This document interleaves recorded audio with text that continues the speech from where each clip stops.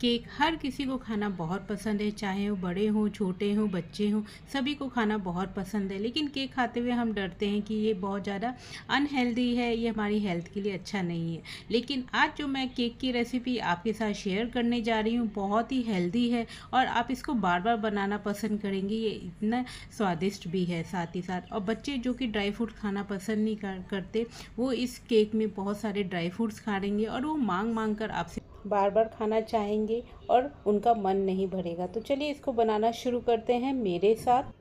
इसको हम गुड़ में बनाएँगे। चीनी का यूज़ नहीं करेंगे। हेल्दी वर्जन में बना रहे हैं तो गुड़ को यूज़ कर रहे हैं। तो इस तरीके से मैं गुड़ को यहाँ पर नाइफ़ की हेल्प से निकाल लूँगी। बिल्कुल बारीक निकालना है और साथ ही साथ देखिए मैं प्री हीट के लिए कढ़ाई को पहले रख दे रही हूँ। आप चाहें तो इसे ओवन में भी बना सकते हैं। बहुत आराम से बन जाएगा। सबसे पहले हमें क्या करना है? नमक को इस तरीके से मैं रखती हूँ, जो कि केक में अक्सर यूज़ करती हूँ। उसी नमक को मैंने यहाँ फैला दिया है और फैलाने के बाद कवर करके इसको बिल्कुल स्लो फ्लेम पर हम प्री हीट के लिए पंद्रह मिनट के लिए छोड़ देंगे। अब देखिए, गुड़ मेरा यहाँ पर ग्रेट हो गया था बारीक। इसी तरीके से देखिए, मैंने एक बड़ा कप, लगभग सौ ग्राम गुड़ है, इतना लिया है। और इसमें वन फोर्थ कप मैंने यहाँ पर रिफाइंड यूज़ किया है। आप कोई भी ऑयल यूज़ कर सकते हैं, लेकिन स्ट्रॉन्ग नहीं होना चाहिए, इस बात का ध्यान रखिए और आधा कप यहाँ पर दही यूज़ करेंगे इसमें। दही खट्टा नहीं होना चाहिए, इस बात का ध्यान रखिएगा। अब इन तीनों चीज़ों को हमें बहुत अच्छे से मिक्स करना है, इस बात का ध्यान रखिएगा। बहुत अच्छे से सेट हो जाए सारी चीज़ें एक दूसरे में, इस तरीके से इसको बहुत अच्छे से करना है। और गुड़ को जब हम ग्रेट करके इसमें डालेंगे तो इससे केक अच्छा होगा, यदि डले रहेंगे तो केक में वो चीज़ें आएँगी। तो देखिए, बहुत अच्छे से सारी चीज़ें मिक्स हो गई। इसके बाद हम आटे का यूज़ करेंगे, मैदे का यूज़ नहीं करेंगे। आप चाहें तो इसमें मैदा भी यूज़ कर सकते हैं, कोई प्रॉब्लम नहीं। लेकिन इसको हेल्दी वर्जन में बना रहे हैं। इसलिए मैंने यहाँ पर एक कप आटा लिया है। आटा भी सौ ग्राम है। जितना गुड़ लिया है, उतना ही आटा लेंगे। और एक चम्मच यहाँ पर मतलब सॉरी वन फोर्थ स्पून मैंने यहाँ पर बेकिंग पाउडर यूज़ किया है। वन बेकिंग पाउडर इसको स्पंजी देगा सॉफ्ट देगा। इसलिए इसमें आटे के साथ डाल दिया है और इसको अब हम अच्छे से यहाँ पर स्ट्रेन करने के बाद मिक्स करेंगे। इस तरीके से देखिए बच्चे कितनी अच्छी चीज़ें खा लेंगे, आटा है, गुड़ है। इस तरीके से बनाकर यदि हम पहले से रख लेंगे तो टिफ़िन में भी देंगे तो हमें भी खुशी होगी कि बच्चे कुछ हेल्दी ही खा रहे हैं। तो देखिए इस तरीके से मैंने मिक्स कर दिया है। काफ़ी थिक है। देखने से ही पता चल रहा है कि काफ़ी थिक हुआ है अभी हम हमारा ये बैटर अब इसमें क्या करेंगे? ड्राई फ्रूट डाल देंगे। तो देखिए ड्राई फ्रूट्स आप अपनी मर्ज़ी से कोई भी डाल सकते हैं। मैंने यहाँ वॉलनट लिया आलमंड्स लिया और अंजीर को भी यहाँ पर डाल दिया आधे अभी डाल दिए हैं और आधे बचा लिए हैं गार्निशिंग के लिए। आप अपने हिसाब से, बच्चों की पसंद से जो भी आपको अच्छे लगते हैं, वो आप यहाँ पर ऐड कर लीजिए। और करने के बाद फिर हम अच्छे से मिक्स कर दें। इसके बाद हमें क्या करना है कि इसकी थिकनेस को थोड़ा लूज़ करना है तो यहाँ मैंने गर्म पानी का यूज़ किया है। तीन से चार चम्मच आप अपने हिसाब से इसको मिक्स करते हुए चेक कर लीजिएगा इसकी थिकनेस। आपको मैं दिखा देती हूँ कैसी हमें कंसिस्टेंसी चाहिए यहाँ पर। इस तरीके की हमें चाहिए होती है। तो इतने में मुझे तीन चम्मच पानी लगा।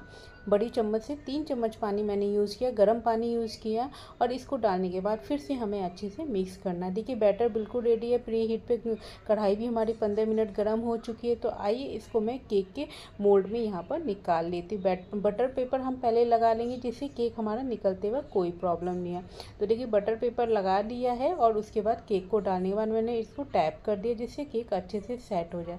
उसके बाद जो बचे हुए ड्राई फ्रूट उसको यहाँ हम ऊपर से गार्निशिंग के लिए यूज़ करेंगे। तो देखिए, बचे हुए सारे डाल दिए हैं। इसमें काफ़ी मात्रा में मैंने अंजीर डाला है वॉलनट डाला है आलमंड्स डाला है, क्योंकि मेरे बच्चे भी वैसे खाना पसंद नहीं करते। तो मैंने केक के थ्रू इनको देना सही समझा तो और मैंने केक में ज़्यादा से ज़्यादा मिला दिया है। तो देखिए, पूरे तरीके से हेल्दी है और इसमें बहुत ज़्यादा इन्ग्रीडियंट्स की हमें आवश्यकता भी नहीं पड़ी।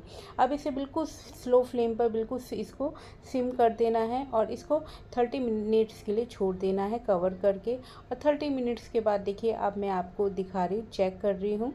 कितने अच्छे से ये यहाँ पर फूल गया है। आप देखिए, हमारा जब डाला था तो कितने नीचे था और जब ये बनकर तैयार हुआ तो कितना ये फ्लफी बना है, कितना ऊपर तक। और देखिए, ये टूथ पिक में बिल्कुल भी नहीं लग रहा है। इससे ये पता चलता है केक बिल्कुल रेडी हो चुका है।